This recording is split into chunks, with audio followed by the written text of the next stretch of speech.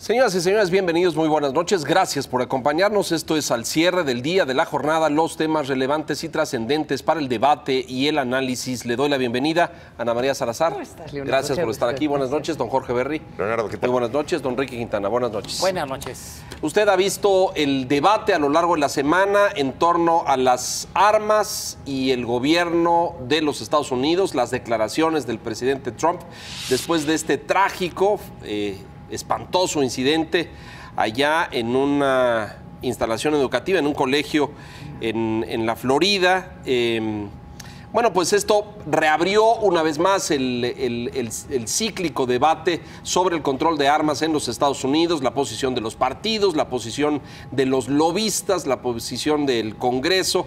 El presidente Trump hizo pues muy desafortunadas declaraciones, déjeme decirle, eh, de las que ya para variar se retractó porque lo primero que dijo fue una solución puede ser armar a los maestros. Es decir, en vez de controlar o reducir las armas, vamos a armar a los maestros en las escuelas. Luego se retractó y dijo que él no había dicho, ahí ve usted el tuit, que él no había dicho esto, que, que no era su declaración exacta.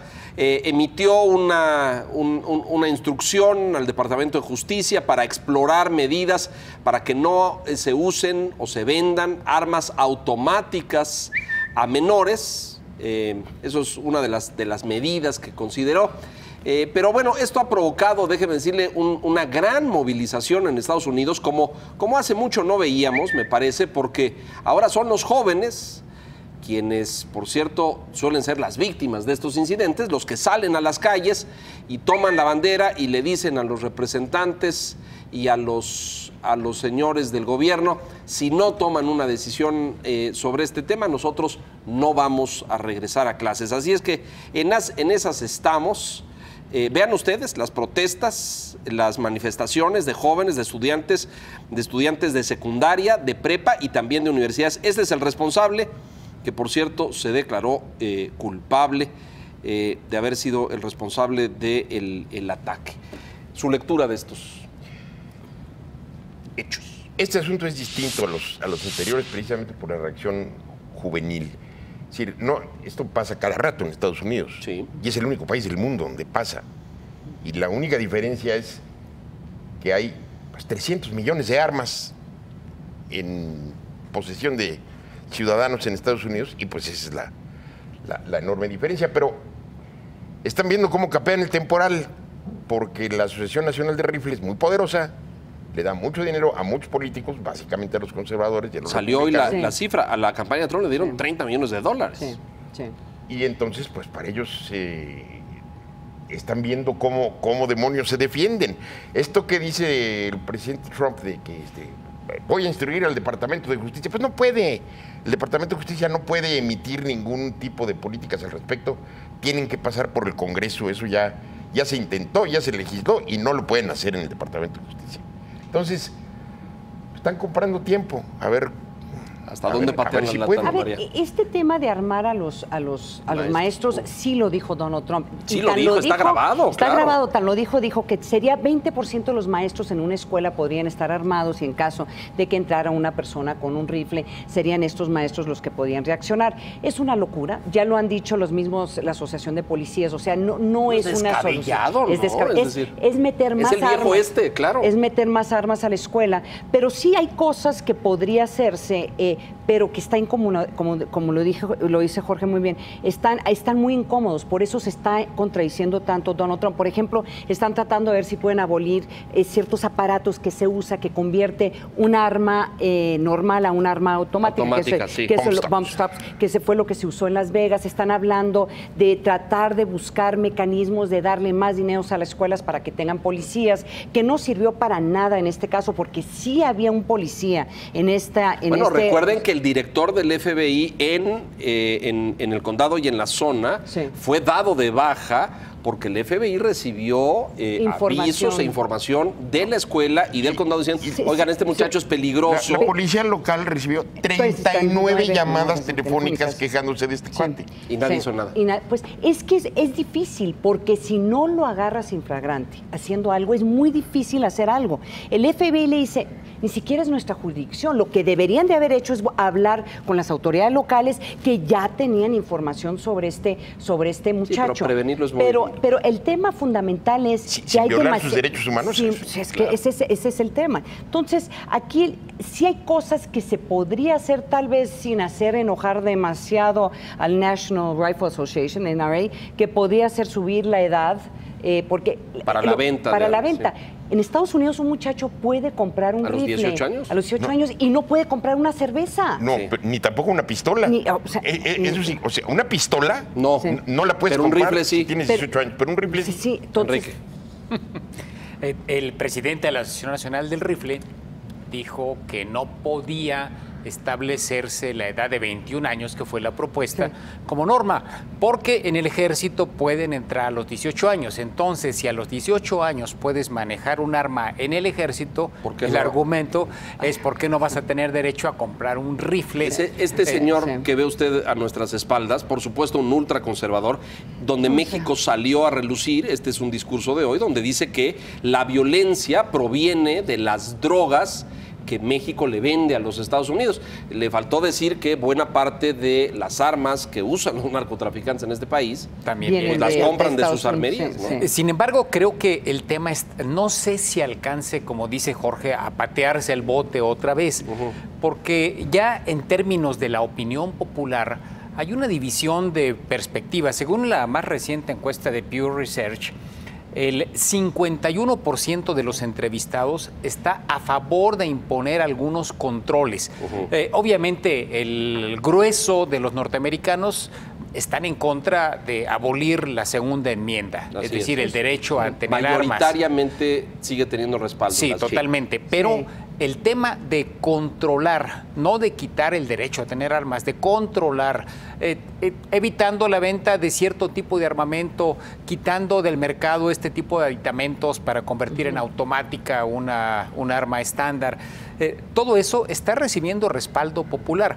Y el hecho de que Trump haya tenido que exhibirse ayer Sí. con escuchar a la gente, a los estudiantes, A eh, sí, a- a realmente sí está mostrando un, eh, un cambio de tono. O por lo menos está incomodando a algunos de los políticos y a los operadores políticos de, de Donald Trump y posiblemente en las elecciones intermedias ya empieza a haber otro tema que podría ayudar a definir, al- definir alguno de los, eh, eh, quien vaya a ganar si van a ser reelectos o no. Por ejemplo, el senador Rubio.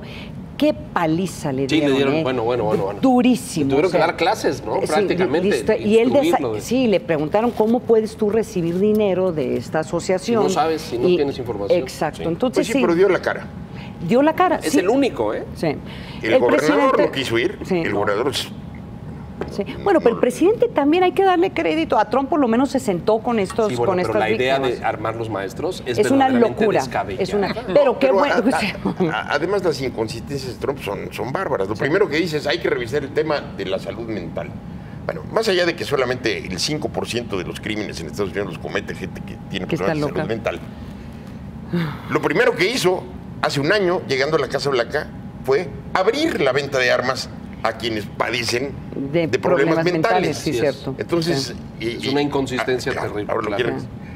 sí tienen un problema muy serio en los registros, porque se supone, hay muchos estados y hay algunos lugares donde para comprar un arma, pues te meten a un registro, Claro, a un registro claro. Sí. para ver si no eres... eh, Y esto fue Criminal, instaurado o sea. por el presidente Obama. No lo olvidemos que durante su administración hubo múltiples de estos incidentes. el problema Y- es que la Asociación Nacional del Rifle, ha, por abajo de la mesa, y- que no, se, muy- muy o sea, no se. Sí. incorporan las bases de datos que deberían Sí, tener. Sí. Sí, el tema, y lo recuerdo muy bien, era no a un ex convicto, a una persona que tuviera antecedentes criminales o hubiera salido de una cárcel. A ese no le vendas. Originalmente, ahora ya no, ahora necesita sí. cruzar una Con frontera otro. estatal para que Sí. aparezca en la lista. Exacto. Entonces, La verdad es que es muy fácil Ahora, es, comprar un arma. es más fácil para un terrorista comprar un arma en Estados Unidos que subirse a un avión. Así de sencillo, porque cuando te subes a un avión, hay esas bases de datos en donde Cruzan. automáticamente Bueno, esas están actualizadas, digamos. Esas sí. están actualizadas y no te dejan subir al vuelo. En cambio, eh, eh, y es lo que estaban comentando, o sea, la locura de todo esto es que literalmente cualquiera puede comprar un arma, pero más si es una persona que tiene antecedentes penales, que tiene intenciones. una clínica que- psiquiátrica, sí. sí. Lo que puede ocurrir, el, el tema de los maestros, es- ese no va a No, transitar no, de claro ninguna que no, manera por sí. lo... eh, está loco. Totalmente. Pero sí, algo que dijo hoy este señor Lapierre, el de la Asociación Nacional del sí. Rifle, que es, eh, debe ser más segura una escuela que una joyería. Y en una Sí. joyería hay guardias armados protegiendo los anaqueles. Sí. Entonces, ¿por qué no va a haber guardias armados protegiendo las escuelas? No sería raro, No, no porque es. obviamente les conviene que veamos una tendencia cada vez mayor a poner guardias armados en las escuelas. El- ya hubo, en este, en este incidente había un guardia armado que no reaccionó. De hecho. Es que estaba fuera del campus, No, no, estaba- estaba, en el campus. No en el pero- edificio, Pero, pues, no quiero decir. quiso entrar, o sea, no quiso entrar y no quiso hacer lo que debería de Bueno, hacerse en no- este tipo no de quiso situaciones. hacer su trabajo. No quiso hacer Eh, su que trabajo. Pero si él, si este persona que es un ex que es un policía, no quiso hacer eso. ¿Sí? Imagínate de nuevo el tema Tener de, guardias de tener eh, El- guardias Es que es o, muy o profesores un guardia, armados. imagínate la situación que enfrenta. Sí. O sea, Claro. va a disparar. ¿Y cómo sabe quién es el blanco? Sí. va a acabar matando A a, otros a otros estudiantes. inocentes y, y- y la va a acabar pagando él, como les pasa a muchos policías aquí. El discurso de este señor Lapiero hoy, que es, es escandaloso en muchos Sí. Es cavernícola. Es verdaderamente. Sí. Hace una mención, no sé si tuvieron oportunidad de verlo, eh, de a las élites americanas no les interesan los niños en las escuelas.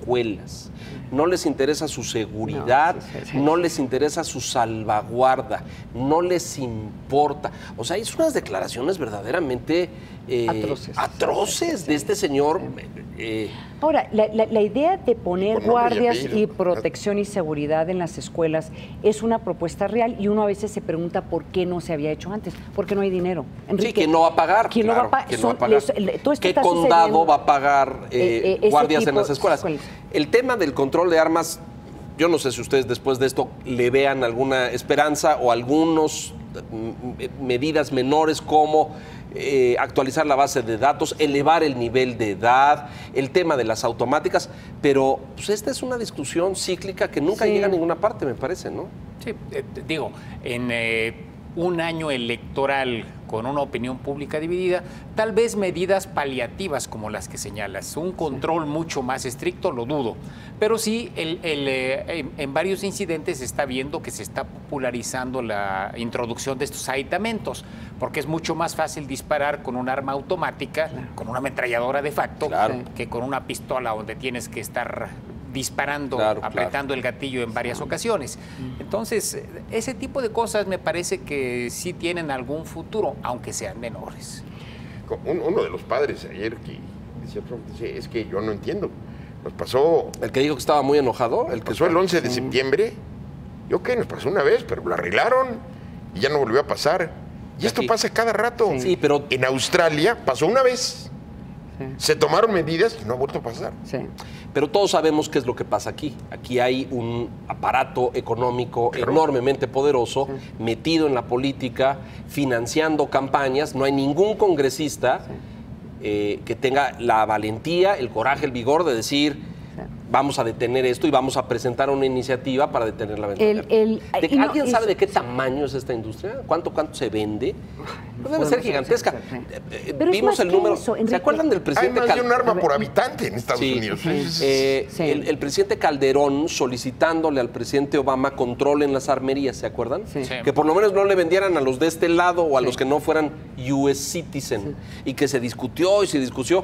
Y no la, la- la- el, el- el- el National Rifle Association no lo permitió. No lo permitió. Aquí también yo creo que no hay que subestimar el tema cultural. Sí hay una cultura de armas eh, eh, En Estados Unidos, sí, enorme, que enorme. está, digo, yo, yo dentro de mis diferentes trabajos Allá. este, en Estados Unidos sí me tocó convivir con estas personas y de veras hablan de este tema de las armas como no solamente como un referente constitucional de mantener el orden, así lo explican, sino como un referente que los divide de la, de la izquierda. O sea, si tú eres de la derecha, forzosamente vas a tener, sientes que Armas. tienes que apoyar la segunda enmienda y permitir la aportación Yo, de eh, armas. por cierto, miente el señor Wayne Lapierre hoy diciendo que los que quieren control quieren echar por abajo la segunda enmienda. Eso es No, es falso. falso, no es fal- es falso, sí. Eh, eh, sujetarla o constreñirla no significa eliminarla. Hay una pieza que les recomiendo vean del, del New York Times donde hace una, eh, un análisis, dos juristas, palabra por palabra de la segunda enmienda.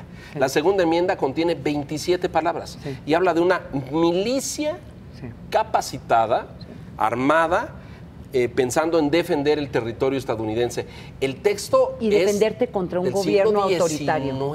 Y contra un gobierno autoritario. Sí, pero era otro contexto, ¿no? Sí, pero, Es decir, ese, pero ese, eh, la- las constituciones están escritas para poder, este tipo de constitución, para poder sobrevivir las, las décadas y los siglos. Aquí lo que sí están diciendo los juristas y lo que están diciendo la Suprema Corte, que no implica que todo mundo puede cargar cualquier tipo de arma este, en cualquier momento. O sea, sí, la constitución de Estados Unidos, la forma en que se ha interpretado, es que sí puede haber ciertas restricciones. Lo que están diciendo el estos texto a la letra dice Sí. que no se restrinja. Sí, no, La- pero sí, la pero la interpretación es, sí te permite que lo puedas restringir. Desde luego no la última, pero sí la más reciente opinión emitida por la Suprema Corte de Justicia de la Nación por el eh, ya desaparecido juez Scalia, sí. ya murió, era muy clara en el sentido de que el derecho a A portar. portar y tener armas no es absoluto. Sí. Así, y, y lo menciona ahí en la opinión, como tampoco lo es la libertad de expresión. Tú no puedes gritar fuego en un cine, ¿no? Entonces, Entonces, Scalia fue muy claro. El único juez de los nueve de la Suprema Corte, que es Clarence Thomas, ese sí defiende de manera absoluta Sí. la interpretación Literal. literal de, de la, la, segunda enmienda. Pero de que van a, a- a limitar, el, el problema es que se les está yendo el tren. Políticamente es un tema peligrosísimo para los republicanos en este momento. Claro. Si no hacen nada antes de la elección, Va a haber sanciones. Sí, sí, claro. sí, los Yo va a llevar también la marea. Hacemos mensajes y regresamos enseguida con más temas relacionados con eh, nuevas acusaciones de la investigación es- especial de Mueller en los Estados Unidos. Volvemos.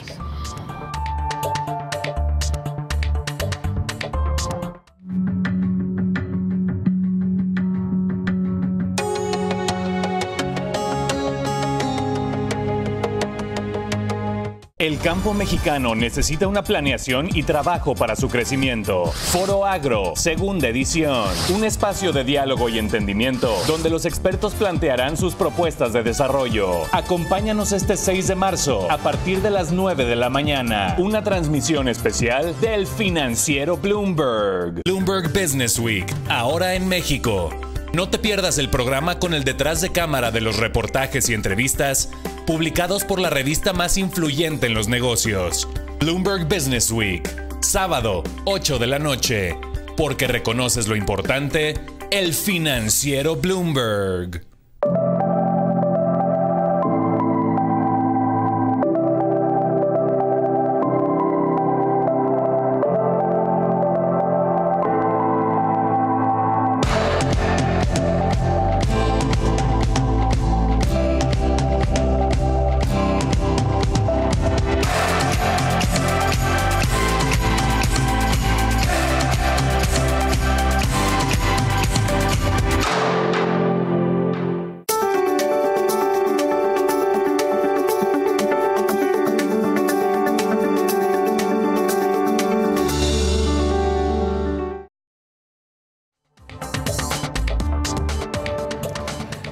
Pues hoy novedades de la investigación especial del Russia Gate en manos del de el fiscal especial Mueller.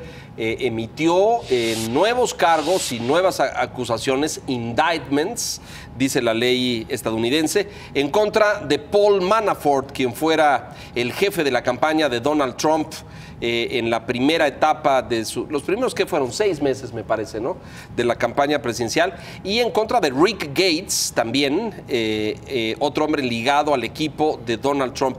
Estas acusaciones, me parece importante, aquí es donde lo dio a conocer, ahí tiene usted al fiscal especial Mueller, y pues me parece vienen a abonar los cimientos de una acusación posterior. ¿Lo pensarías así?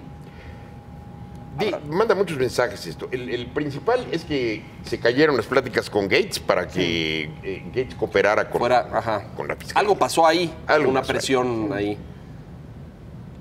La prensa conservadora le hace Fox. Sí, Fox News. Más Breitbart, más todos estos. Traen una campaña para que retire su, su soy culpable Flynn, el general Flynn. Su declaración, de, culpabilidad para poder eh, eh, trabajar. Cosa que es muy difícil. Porque pues, el cuate ya aceptó que mintió ante el FBI. Entonces, si dice no, siempre no, pues a la hora del juicio le van a decir, pues sí, pero tú ya lo dijiste. Tú ya lo, claro. Claro que ahí está el perdón flotando, ¿no? que le puede otorgar Trump. Pero yo creo que de todas maneras, Flynn lo tienen bastante bien controlado por el hijo. Pero esto lo leen como un avance o como un retroceso en la investigación, porque acusar a Gates significa que Gates iba a colaborar y iba a pasar información. Si lo acusan, quiere decir que lo perdieron como testigo protegido. Sí, pero yo. O que lo siguen apretando, que lo están apretando más para que. Yo creo que lo están apretando más porque no les dio lo que querían o lo que les quería dar no era suficiente para poder incriminar más a Manafort. Aquí, ¿qué es lo que está haciendo el fiscal especial Mueller? Lo que está haciendo el fiscal es apretar apretar a Manafort a tal punto con todas estas acusaciones que no tiene nada que ver con la intervención Rusia en Estados Unidos. Tiene que ver que era un lavador de dinero, colaboraba con, con, un gobierno ucraniano, eh, eh, pusieron, hicieron una acusación formal contra un abogado de uno de los grandes, eh, que eso también yo creo que es nota para nosotros los abogados, que, para nosotros que somos abogados, porque generalmente en Estados Unidos no se van contra los abogados, se fueron contra este abogado que tiene información sobre lo que estaba haciendo Manafort y todo esto se está armando porque yo creo que el fiscal eh, piensa, Robert Gates, de que Manafort tiene la información que podría demostrar el vínculo, entre el hijo de Donald Trump, el hijo de Kushner con los rusos y tal vez el vínculo de Trump en, esta, en toda esta conspiración. Ah, el, eh, hijo de, o sea, Trump Jr., el yerno Kushner y los rusos. Sí, entonces ese, eso es lo que está haciendo. Entonces, mientras sigue saliendo toda esta información, Manafort se va a ir a la cárcel. O sea, es claro que se va a ir a la cárcel. El tema es por cuánto y tiempo. Gates también. Y Gates también. Flynn también. Y Flynn también. Entonces, todo depende por cuánto tiempo. Sin comprobar el vínculo con la campaña. Sí, pero. Pero ya hay información de que parecería que el presidente tal vez mintió y hay temas de obstrucción de justicia. Ah, el eh, tema es que la ampliación de acusaciones que se da a conocer hoy, pues parece hasta un asunto de naturaleza diferente, son asuntos fiscales. Exacto. Te pagó mucha lana. Y no lo declaraste. El gobierno no lo declaraste y luego lo lavaste. Es decir, buscaste introducirlo de manera legal al sistema financiero, te compraste una casa, en fin pareciera que tienen que ver con otro tipo de asuntos y por ningún lado en las acusaciones específicas se ve el fondo de la trama rusa. Entonces, sí pareciera ser una movida de ajedrez. Es decir, alguna consecuencia se espera de estas acusaciones, porque de lo contrario, pues tanto a Gates como a Manafort los van a meter a la cárcel por razones totalmente diferentes a lo que originalmente eh, está buscando el señor Mueller. Ahora, Mueller ya tiene suficiente para meterlos a los dos a la cárcel y aunque los perdonen Trump, hay cargos también en el estado de Virginia. Sí, claro. Entonces, y los cargos estatales, eso no los puede perdonar Trump. Entonces, de que, de que están con la cárcel sobre la cabeza, están. Manafort incluso ya está acusado de romper la ley durante la fianza, ya, ya, acusado, ¿no? De cometer más delitos. Difiere un poco en, en la motivación de Mueller con el asunto Gates. Yo creo que a Gates lo está apretando porque no le ha dado lo suficiente y por lo, lo- lo suficiente quiero decir, así, ya Manafort no me interesa, señor Gates. Ya tengo todo lo que necesito Claro, para claro, claro. refundir a Manafort. Dame lo que tú sabes que pasó después de que corrieron a Manafort Sí. y que tú seguiste ahí. Sí. Eso es lo que quiero. Y eso es lo que hasta el momento creo que Gates no, no ha soltado. El punto aquí es eh, si eh, todos estos delitos colaterales como la evasión fiscal, la no declaración, las cuentas, el lavado, son eh, solamente un instrumento de presión para obligarlos a que confiesen esos vínculos y esa información entre los rusos y la campaña. Eh, No es solamente eso. Cu- Cuando tú analizas las, las otras, durante este, eh, eh, en la historia de cuando se han usado estos fiscales especiales, generalmente los fiscales especiales se dedican a buscar cualquier tipo de delito que podría estar vinculado a un evento aunque no esté directamente relacionado con el evento. Recuerdo cuando estaban investigando a Bill Clinton. Bueno, Bill Clinton durante su presidencia yo no sé cuántos fiscales especiales tuvo. Bueno, pero que, recuerdo este- a Kenneth Starr, por sí, ejemplo, pero en él- el caso de Arkansas. Sí, claro, pero eso tu- tenía que ver menos ¿Cómo con lo de? Mónica Lewinsky, tenía El que ver con White, el- White- Whitewater. Whitewater. Whitewater. Y, este, y, ma- y tuvieron en la, en la cárcel a dos personas porque no querían testificar en contra de, del pre- eh, de entonces Bill eh, Clinton, y uno de ellos murió en la cárcel. Entonces, eh, eh, estos fiscales especiales básicamente tienen un mandato muy amplio y a pesar de que Donald Trump trató de limitarlo y básicamente amenazarlo, si se meten en mis finanzas, que es probablemente lo que va a pasar, Jorge. Yo creo que va- ya están empezando a pedir tiene que haber flujos de dinero, ¿no sobre finanzas de Donald Trump. Así ¿sí? es. Entonces, déjanos eso es lo que yo creo que es el siguiente Una paso. pausa rápido, mensajes y regresamos a conclusiones. Gracias.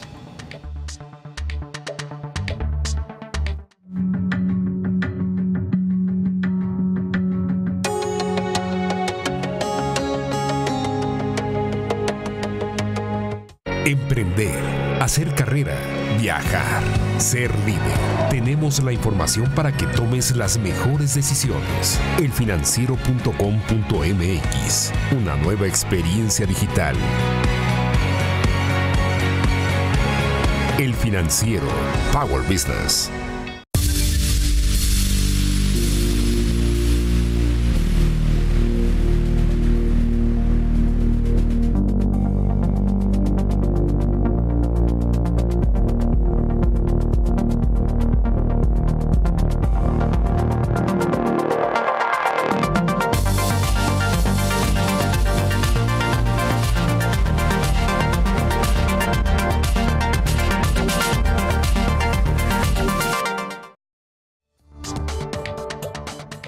Acaba el tiempo. Conclusiones rápidamente, Jorge. Dos. Uno, nadie sabe qué va a hacer Mueller, porque nadie tiene la información que tiene Mueller. Entonces, eso hay que irlo viendo conforme pase, porque pues sí, no sabe. Dos, McMaster está en la cuerda floja. Sí. Está a punto de, de Que es el secretario de Seguridad. es Seguridad el- Nacional. Es el asesor de Seguridad Nacional. ¿Por qué está en la cuerda roja? Cuéntale al público rápido. Ostensiblemente por un comentario que hizo en, en una reunión de seguridad que se dio eh, el fin de semana pasado, en donde dijo que pues ya era absolutamente insostenible el argumentar que no existió interferencia rusa en las Sí. elecciones de 2016, que era obvio, claro y evidente. Y entonces Trump le respondió en un tuitazo, al general se le olvidó decir que no tuvo que ver eso con el resultado de la elección. Es lo que dice Trump, eso no dicen las agencias de inteligencia. Ellos prefieren no opinar, pero de que tuvo que ver en el resultado, perdonan. Pues para eso, pa- para, ese fue el propósito de hackear y de infiltrar la, la elección. Y esto podía suceder relativamente pronto. ¿Lo va a correr? Eh, Yo creo que va a renunciar y se va a regresar al ejército Sí. a que le den su cuarta estrella, porque es general de Sí, estrellas. es- eso es lo que estaría buscando. Eh, yo el otro tema que le estoy poniendo mucha atención, que se nos ha olvidado y que casi no se ha discutido, es que ya el, el fiscal Mueller le ha pedido a la Casa Blanca y a los abogados de Donald Trump que tiene que declarar.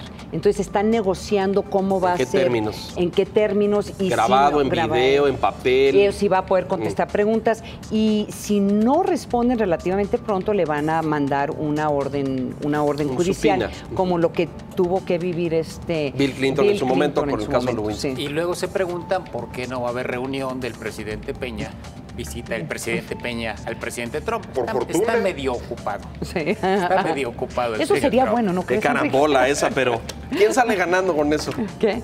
O que no haya con- reunión. eh, yo creo que México, México. sale ganando. México. José Antonio Mid, México, Enrique el mundo. Peña, sobre sí, todo. sí. Nada que hacer ahí. Sí, sí. Jorge Berry, gracias. Ana Gracias. María Salazar, muchas gracias. Enrique Quintana, gracias. Oye, a las 10 de la noche estamos con el programa El Mundo Según Trump, así que nos acompañe. Acompáñenos a las 10 de la noche. Gracias por la gentileza de su atención. Buenas noches.